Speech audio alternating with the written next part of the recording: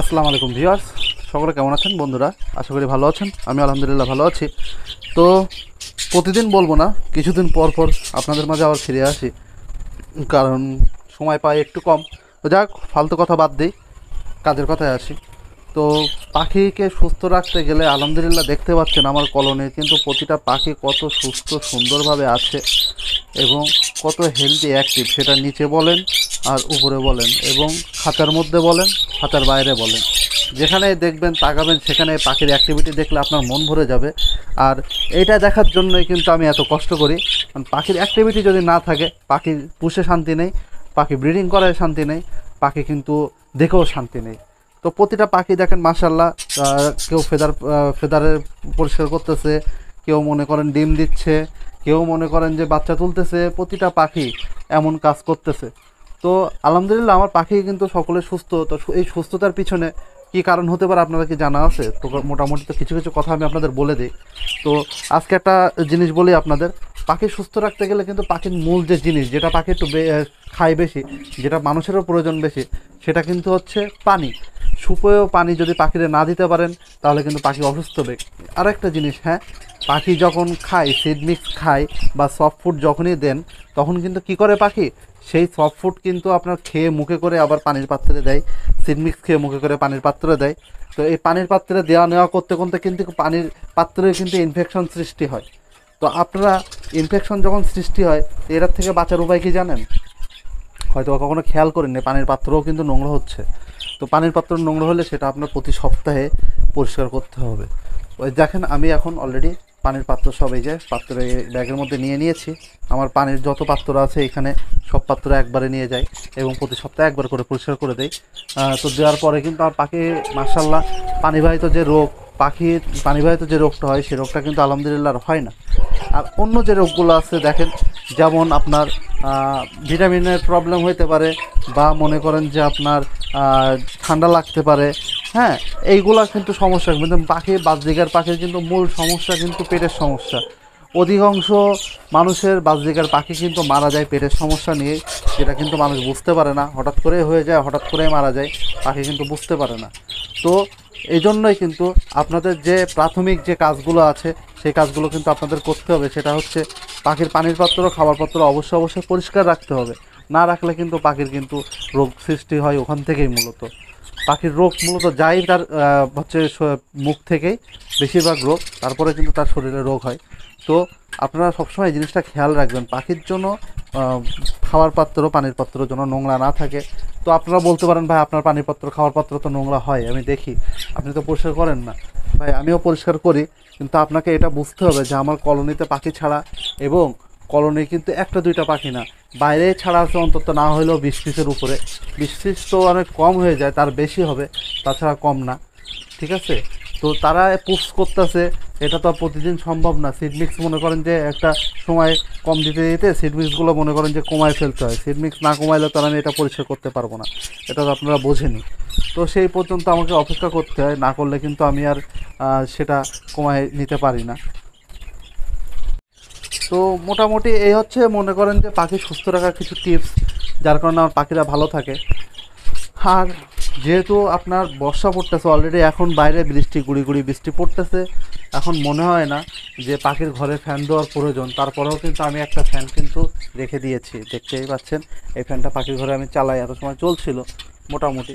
তো আপনারাও মোটামুটি দেখবেন যে রুম টেম্পারেচারটা কেমন আছে বা নেই, সেটা অবজারভেশন করার পরে কিন্তু পাখির ঘরে ফ্যানটা দিবেন। যেহেতু আমার খোলা এলাকা, সেহেতু মনে করেন যে আমার ফ্যান দেওয়া লাগে কম, কিন্তু হিট হয় প্রচুর, দিনের বেলা মোটামুটি রোদ বাইরে হলেই যার কারণে পাখির ফ্যানটা দেওয়া প্রয়োজন পড়ে প্রচুর। দেখেন পাখি কত সুন্দর, প্রতিটা পাখি কম বেশি নিচে এসে ফেদার নিয়ে খেলা করতেছে। দেখেন কত মজার একটা জিনিস, দেখেন পাখি ফেদার নিয়ে খেলা করতেছে। হ্যাঁ দেখতে কত সুন্দর লাগে না বলেন বন্ধুরা? এত সুন্দর লাগে এই যে দেখেন নিচে সব পাখি। আমার কাছেও আসতেছে, পাশেও আসতেছে। হ্যাঁ কত সুন্দর লাগে দেখেন। তো এইসব দেখলে আসলে মনটা ভরে যায়। আর পাখি তো কিছু রেস্টে আছে। যেমন একটা পাখি রেস্টে এখানে দেখেন পাখি ঘুমাচ্ছে। মাসাল্লাহ হ্যাঁ দেখেন কত সুন্দর। তো আমি এটা ডিস্টার্ব না করি, ঘুমাচ্ছে যখন ঘুমাক। হ্যাঁ নিউ অ্যাডাল্ট এটা। এখনও ব্রিডিং করেনি। এদিকে দেখেন পাখি সব খেলাধুলায় ব্যস্ত, এগুলোও কিন্তু আপনার মোটামুটি হচ্ছে রেস্টে আছে হ্যাঁ? আর এগুলো সব মেল পাখি, এখানে অধিকাংশ সব মেল ফিমেল খুবই কম পাবেন। আর এই ফিমেলটাকে আমি বারবার ধরি, আর সে বারবার খাতার বাইরে চলে আসে। তো এটাকে এখন ধরতে হবে, ধরে আবার খাতার মধ্যে দিতে হবে না হলে আমার বাচ্চা পাখিকে মেরে আবার সোজা করে ফেলে দেবে যেটা আমি চাই না। আর দেখেন, আমি অলরেডি তিন দিন পাখিদেরকে জিঙ্ক খাইয়েছি এবং ভিটামিন বি কমপ্লেক্স খাইয়েছি। তো যার কারণে কিন্তু পাখির দেখেন ফেদার উঠে পিন ফেদার উঠতেছে মানে পাখির মোল্টিং চলতেছে। এবং মোল্টিং সময়টা কিন্তু পাখির খুব সেন্সিটিভ একটা সময়। যে সময়টা পাখি কিন্তু ব্রিডিং করালে পাখি খুবই খুবই খুবই ক্ষতি হয়, এমনকি পাখি মারাও যেতে পারে। সকলে সাবধান থাকবেন। মোল্টিং কিন্তু আপনার এক মাস থেকে তিন মাস, পাঁচ মাস পর্যন্ত চলতে পারে। সেটা আপনারা খেয়াল রাখবেন পাখির দিকে। আর পাখিকে কিন্তু সাপ্লিমেন্টও আপনার দেওয়া প্রয়োজন পড়বে তখন। তো এদিকেও অবশ্যই খেয়াল রাখবেন বন্ধুরা, যাতে পাখি অসুস্থ না হয়ে পড়ে। তো এই মোটামুটি বন্ধু, বর্তমানে আমার পাখির কলনের অবস্থা, দেখতে পাচ্ছেন। এখানে যদি এক্ষুনি ট্রেটা নিয়ে আপনার দেখতে পাবেন যে একটা ডিম পড়ে আছে। তো এই ডিমটাও পাখিরা দিছে। হ্যাঁ তো পাখি এরকম ডিম সব দিচ্ছে, সব কিন্তু অ্যাডাল্ট হয়ে গিয়েছে এখানে পাখি। তো যার কারণে এটা ডিম দিচ্ছে।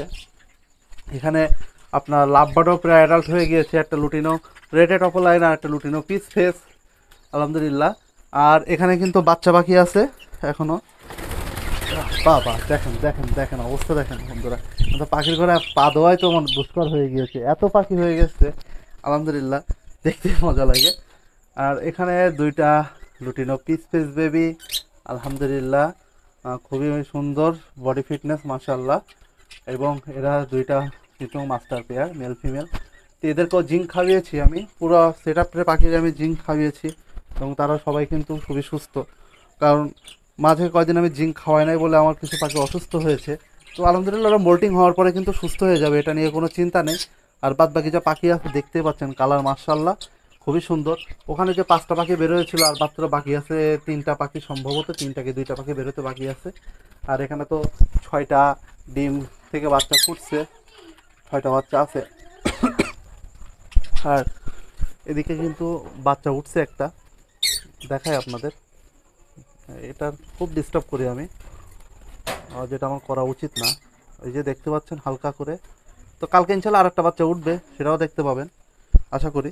তো এই হচ্ছে মোটামুটি বন্ধু কলনের অবস্থা। কালার মার্কিন মার্শাল্লাহ খুবই সুন্দর এবং ফেদার গ্লেস দেখলেও আপনারা বুঝতে পারবেন কতটা সুন্দর আমার পাখিগুলো আছে এবং তাদের কিন্তু কোনো কিছুর কমতি নেই।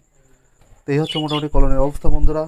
তো যারা নতুন ভিউয়ার্স আছেন, অবশ্যই চ্যানেলটাকে সাবস্ক্রাইব করবেন, সাথে পাশে বেল আইকনটা চেপে দেবেন যদি ভিডিওটা ভালো লেগে থাকে। আর যারা পুরাতন ভিউয়ার্স আছেন আমার, তারা অবশ্যই অবশ্যই চ্যানেলটাকে লাইক কমেন্ট শেয়ার করবেন এবং কোনো কিছু জানার প্রয়োজন থাকলে অবশ্যই আমাকে ইনবক্সে নক করবেন বা কমেন্ট করবেন। ইনশাল্লাহ আমি সেটা আপনাদের সমাধান দেওয়ার চেষ্টা করব, যতটুকু জানি, বুঝি। তো আজকে এখানে শেষ করি। সবাই ভালো থাকেন, সুস্থ থাকেন।